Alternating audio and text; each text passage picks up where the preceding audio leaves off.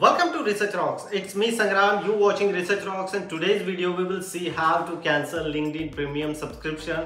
It's very simple tips and tricks. So let's start as a laptop screen. So now we'll see as a demonstration. Click here in the profile menu. After clicking the profile menu, scroll down here and here manage premium account. So I click here manage premium account and inside the manage premium account sub cancel subscription options are available I just simply click here and new tab is come here. So here several informations are available regarding my subscription. So here look at this here in the screen. Several options are available. Little bit scroll down and here continue to cancel subscription. So here several options are available. What is your reason exactly?